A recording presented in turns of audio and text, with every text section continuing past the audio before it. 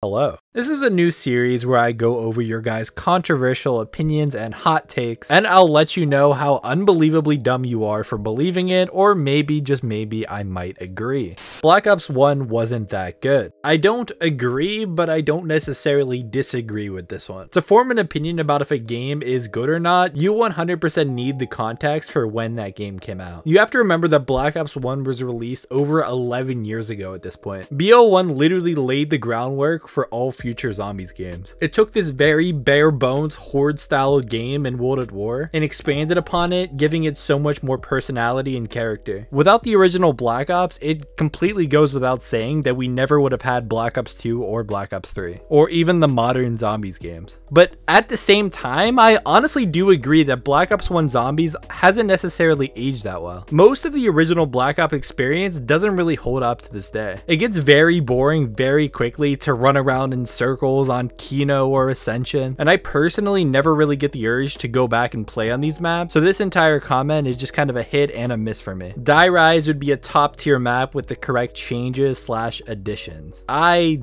disagree. I 100% don't agree with this comment at all. I think the main problem of Die Rise is unfixable, and that is it's just plain boring. I feel like people have been saying for years that if they could choose one map to be remastered, it would be Die Rise. And they always say that it'll be so much better on a newer engine or with a few tweaks here or there. And personally, I just don't see it. I went ahead and thought of five changes off the bat that I'd make to Die Rise. One, the much needed addition of PhD Flopper. Two, a rework of the Who's Who perk. Three, an improvement to the levels of saturation to prevent the map from looking ugly and dull. Four, some sort of system in place to control the elevators or even just a vertical fast travel system to speed up the process dramatically. And five, of course, the ability to hold more than one part at a time to prevent it from taking an unnecessarily long amount of time to build the trample steam in the Sliquifier. But even with all of these changes, I still just feel like Die Rise is an objectively boring map. And I feel like the amount of time that they would need to put in to fix this map is just not worth it. The Chaos story needs to continue. It had a very interesting storyline. I agree, but this will literally never happen. So I've never personally been that into the zombie story, no matter which storyline it is, but I want Chaos to come back for one reason and one reason only. The quality of maps. The Chaos story was set up in a way that made it so we got these crazy maps set in fantastic locations, from the literal Titanic to ancient Greece, and I really want more of that. Anyone who played the Black Ops 4 Chaos maps just knows how much love and passion were poured into making these maps, and I want more of that from zombies. Personally, I hate playing zombies in Nazi research facility number 49, which is how a lot of Cold War felt to me. I'm just hoping that the next Treyarch game, although the Chaos Crew specifically will never come back,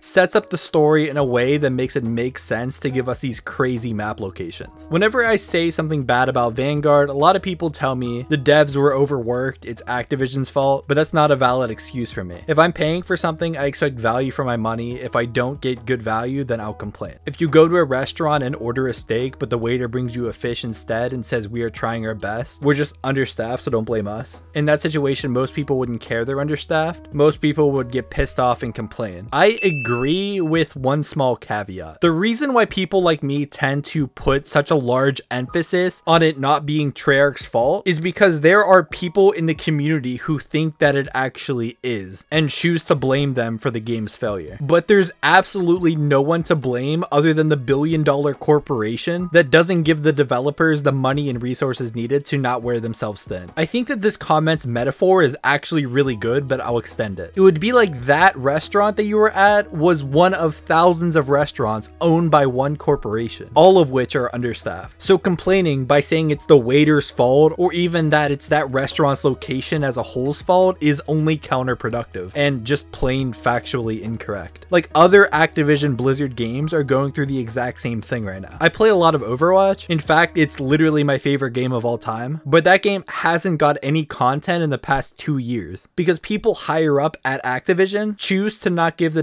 developer team the resources it needs to make quality content. So to just make it clear, it's absolutely no one's fault other than the 20 plus billion dollar corporation whose only goal at the end of the day is to please their greedy stockholders by turning a profit. Sorry, that was a bit of a rant. Anyways, on a positive note, Infinite Warfare has the best set of boss fights overall from any zombies mode, and every map is great except Beast. I agree. Infinite Warfare is very underrated as a whole, especially when it comes to how great the Easter eggs and boss fights were on that game. Were they the very best in the series? I mean, I don't know about that, but they definitely were amazing. And I think the only reason this is an unpopular opinion is because just of how little people actually played Infinite Warfare Zombies. Thank you for watching and leave an unpopular opinion in the comments if you want to be in the next video.